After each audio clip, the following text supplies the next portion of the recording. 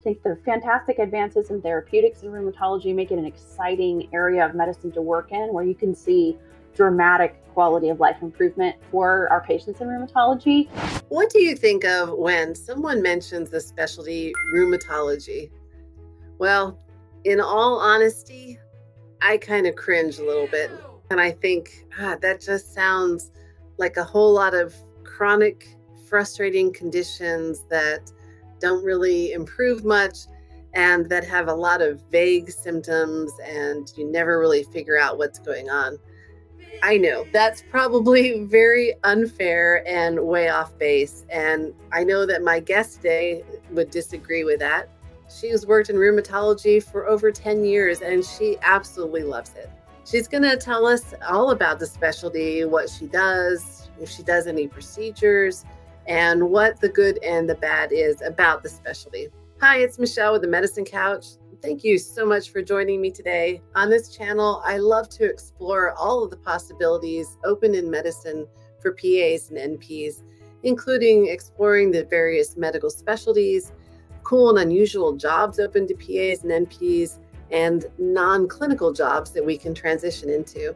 So, if you like the work that I do, then please support the channel by hitting that subscribe button, share my videos with colleagues who may find them interesting, and if you feel like it, give me a super thanks down below in the chat.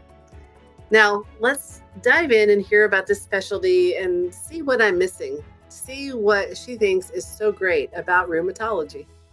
Hello, my name is Heather. I'm a physician assistant, been practicing for 12 years as a PA. So, we are going to talk about rheumatology. And is that a specialty that you worked in throughout your whole career, or what's kind of been your path since graduation? I didn't start in rheumatology. I actually started in underserved primary care. I guess you could say rural family medicine, and then worked there for a couple of years and ultimately transitioned into rheumatology 10 years ago honestly um, responded to a job ad and, and landed in a rheumatology office. I had not had it on my radar. Had not had any rotations in rheumatology as a PA student, but I'm very thankful that I happened to respond to that job posting because I've stayed in the in the field for 10 years. I talked to so many people on this channel who ended up in a specialty that they didn't really ever think was going to be anything they did or like you said even on their radar. So for those people who are watching, just keep an open mind because you'll never know what specialty you might click with, right? Absolutely. Okay, so when you work in rheumatology outpatient offices, typical kind of family practice hours? Generally, yes. I like to think of it as a very family friendly, low key day. Just to give an idea, typically the hours are between 8 to 5 outpatient. My current uh, setting is I, I start seeing patients at 8.30, have an hour for lunch, and then I leave office between 4.30 and 5. I know some uh, rheumatology APPs that actually have structured a you know less than full-time equivalent job where they're working mornings only or they may work four days a week. I would say it is a specialty where that is a distinct option. Um, lots of folks are open to a four day a week opportunity or even part-time. For you in general, through the years working in rheumatology, how many patients would you say on average are most people in rheumatology seeing every day? Again, yes, this varies greatly. It's varied for me between private practice locations, but in general, I would say between 16 to 18 patients per day. For follow up patients at the practice I'm at currently, I see less. I see one or two new patients a day and 10 to 12 follow up patients, but that is a definitely heavily determined by your practice setting. I know APPs in a rheumatology um, for profit or academic center where they may see 20 to 25 patients a day. Mm. So it's definitely very variable. So when patients get referred to your practice, do they see either you or the physician? And it just kind of depends on who they get put on the schedule with, or do you only do follow-ups but how is that usually set up so that is typically offered to the patient as a choice my wait time to be seen as a new patient is two to three weeks versus six to eight weeks for the physicians that i work with. So many patients are are choosing to be seen sooner. There's also the understanding that in our office currently i may see a patient at a new consult at the second or third follow-up visit. They will also meet one of my collaborating physicians. I have not, and I prefer not to see new pregnant patients with rheumatic disease or brand new patients with uh, granulomatosis or other severe vasculitis type conditions, I feel like they may need to see the rheumatologist at their initial initial consult. Mm, you mentioned a few types of conditions that you see in rheumatology, and we're going to talk a little bit in a minute about any procedures you might do. But can can you kind of just list through the top different things that you see? I would say the bread and butter, so to speak, of rheumatology is rheumatoid arthritis, psoriatic arthritis, ankylosing spondylitis, or any of the spondyloarthropathy conditions of inflammatory back pain. We have patients with lupus. We see quite a few patients for bone health uh, and osteoporosis treatment. We see patients that are diagnosed with polymyalgia rheumatica as well as giant cell arteritis. And then we see many, many patients for osteoarthritis as a secondary condition uh, on top of a rheumatic disease. And then we also have patients that have what we call reactive arthritis, whether it's reactive arthritis to an infection process or something entirely different. And then we see many, many patients where uh, they have what we call mixed connective tissue disorder, or they may have a smattering of abnormal rheumatologic antibodies, and we can't give them a classic textbook definition of lupus or RA, but we go on to follow them and we call them unspecified connective tissue disorder. Oh, and gout can't forget gout. When I hear rheumatology, I, you know, it's just like, oh, God, that just sounds like a beatdown every day. um, but I've never had a rotation in rheumatology and I've never spent time like in rheumatology. So, so tell us what kind of misconceptions people may have about it or what there is to really love about the specialty. Sure. So I think the first misconception that I hear about a lot and I want to clear up is that there's a big mystery around rheumatic diseases. And when I sit down and explain rheumatology to somebody, it's nice because you have all these clinical guidelines where you can learn what is the way we officially can diagnose lupus or RA. And if you don't meet the criteria, then you need to keep looking. And I view it as a real positive for the field that there is quite a bit of detective work to do. So if you don't like solving a puzzle, it's not the field for you. But if you enjoy the intellectual challenge of learning about all different types of serologic testing and antibodies and putting pieces of multiple organ system involvement together in the same diagnosis, I feel like that's a real plus to the field. I think that one of the drawing points to it for me has been the ability to follow patients chronically over time and establish those long term relationships with patients if that's something that you enjoy. For example, I've seen patients in the same clinic for six or seven years, and in that time period, um, we've had an opportunity to see their siblings or their children because many of the rheumatic diseases have a genetic component to them. Um, one of the things that I feel is a positive is because rheumatic disease can affect every organ system. I feel like my internal medicine skill set is constantly being utilized and I like that it keeps me fresh in the knowledge base and, and maintaining those skills. The other thing I really enjoy about rheumatology is I consider it to be low stress and not a lot of urgent or emergent issues coming into clinic. I've had a few, but not many. And I think that the work life balance is excellent. It's a it's a specialty where you can go to work and go home to your family. For example, I don't bring a lot of work home with me at all after hours or on the weekend.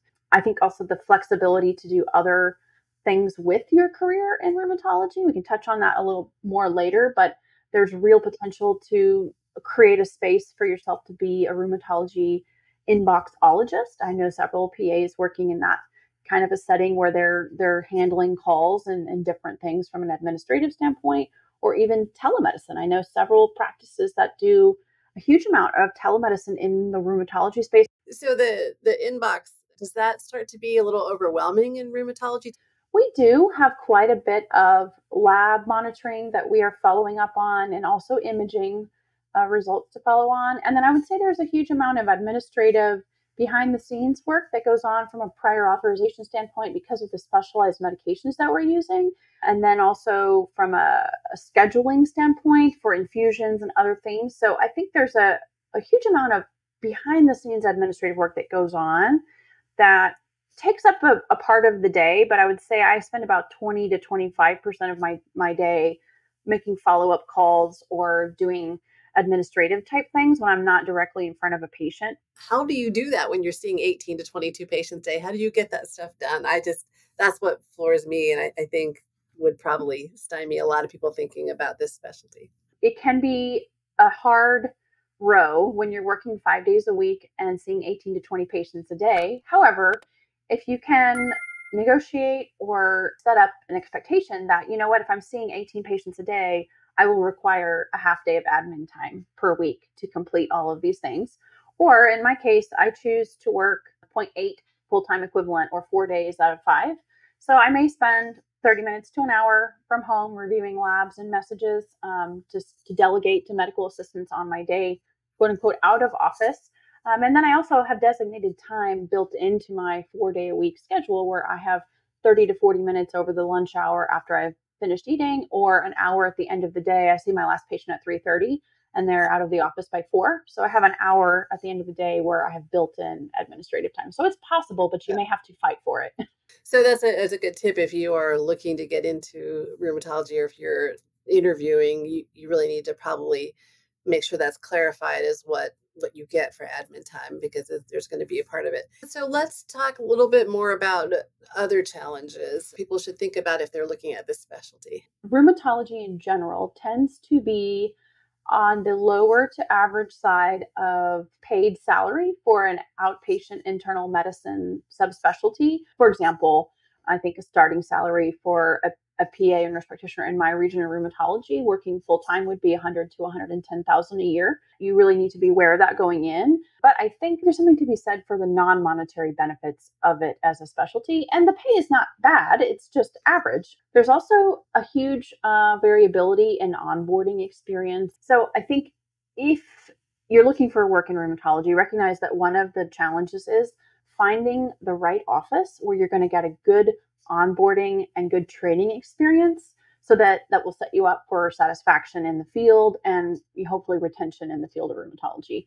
Um, the other drawbacks that I could like I think of would be limited procedures and, and not, not a lot, obviously not a lot of surgical things. Um, so if, if procedures are not your jam and you can, you know, master the art of a few joint injections, then rheumatology would be your place. And then I, I do think that one of the challenges that APPs face in rheumatology is that rheumatologists, I love them, but they have been rather slow to adopt APPs, especially in certain regions. So I know when I started working in rheumatology, I'm in a very large metro area in the southern United States, and I was the second APP in the entire 6 million population metro area.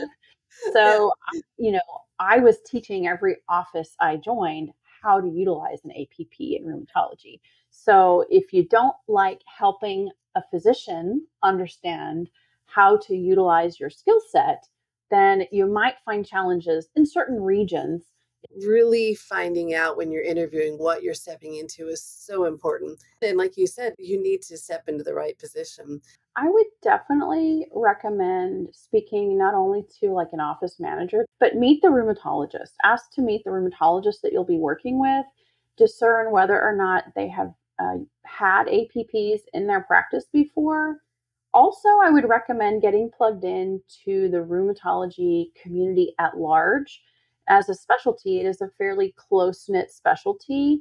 And so, if you can find a local rheumatology journal club or even a group of APPs working in rheumatology in your state, they'll know. They will know, and they may tell you uh, on a personal communication basis which practices are well reputed in terms of their retention and uh, treatment of APPs. And they'll tell you also which practices may not be the best opportunity for someone new to the field. So I would I would utilize your networking skills. You can gain a lot of information about a practice without stepping foot inside. What kind of personalities do you think do well in rheumatology? I think that a personality where you have a lot of warm interest in listening to people. Uh, I think also a personality who does well with managing, like I said, chronic comorbidities and chronic conditions.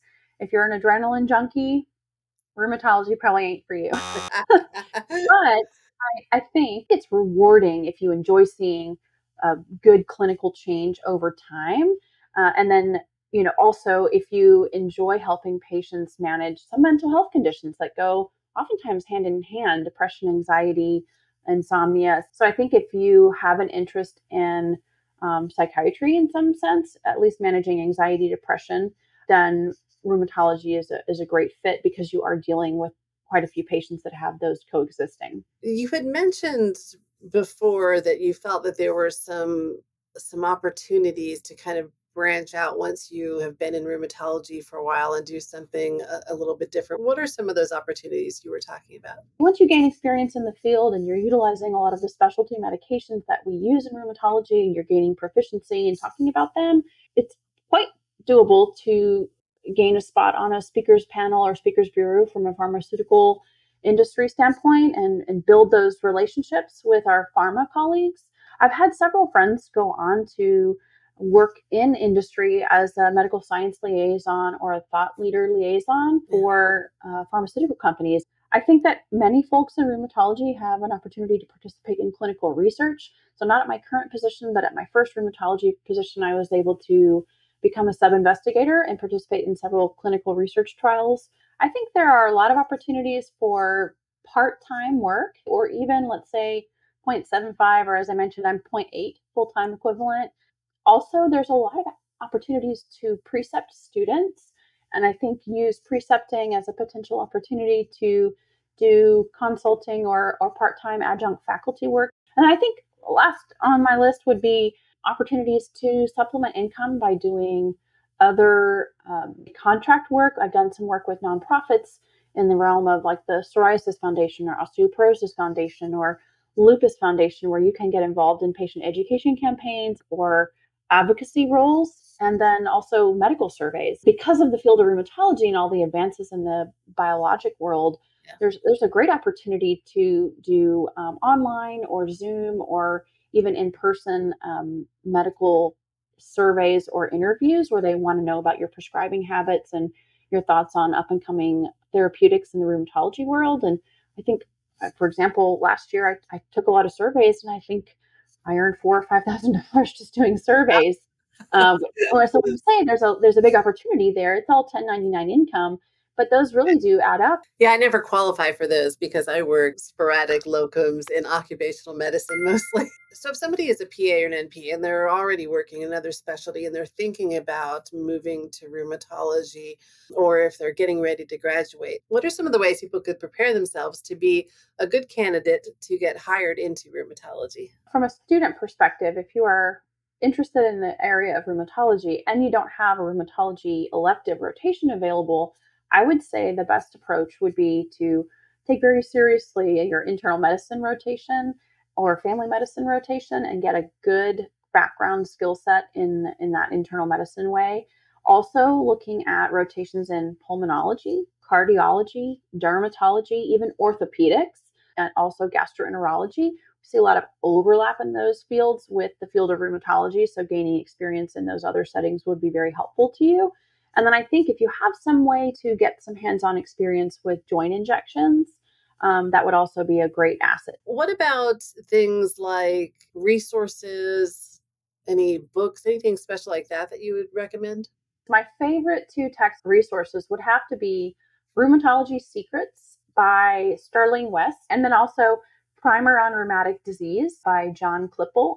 There are several rheumatology societies that I think are the best resource for APPs in the field. I am biased. I'm on the board of directors for Rheumatology Advanced Practice Providers.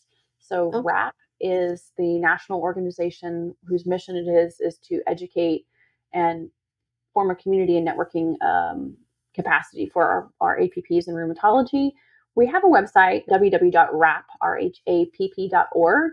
We also have an app. We have a podcast called Rapcast we have a national conference geared towards APPs in the field of rheumatology, but delivered by APPs in the field of rheumatology. And then we have several regional, smaller CME conferences, and we're building a network of, of regional groups of APPs in different zones in the United States. So I would encourage you to get involved with RhAPP. One of the other organizations that is extremely helpful is American College of Rheumatology. If you pay a nominal registration fee, You'll have access to all of the uh, disease diagnosis and treatment guidelines that I think are Oh, a huge resource for those, especially new in the field. And then there's an image library for really interesting uh, radiographic information or even dermatologic things. There are state rheumatology societies that I would encourage everyone to join and participate in. So if you if you're in the state and you want to be working in the field of rheumatology, a great place to go and network for a job is to go to that state conference. And there's a journal uh, of rheumatology. It's called www.jrheum.org/meetings. Well, actually, you can find a list of all of the in-person CME conferences in the country for rheumatology, which is quite extensive, actually. So, what about people just coming out of school, new graduates? Is this a specialty that you think is is really good for new graduates, or is it better they get some experience somewhere else first and then come into rheumatology? If possible, to gain couple of years' experience in primary care or internal medicine, I think that would set you up for an excellent knowledge base moving into rheumatology.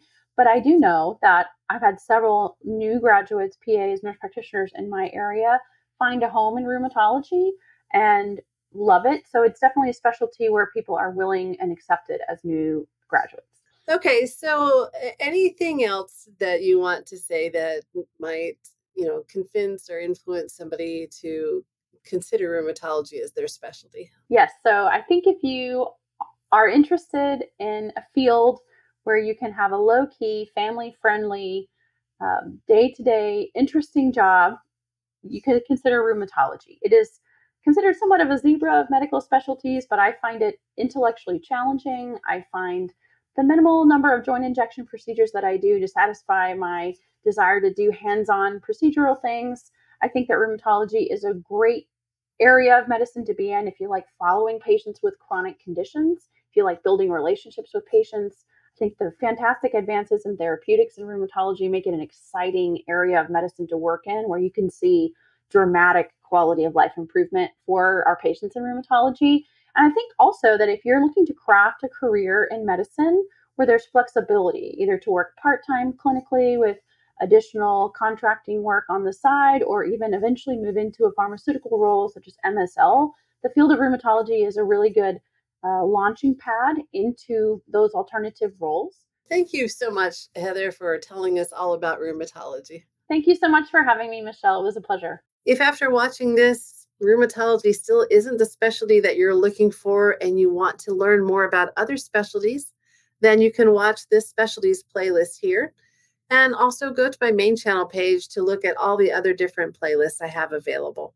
Well, thank you so much for joining me today. And as always, take care, stay sane, and I'll see you next time on the Medicine Couch. Bye.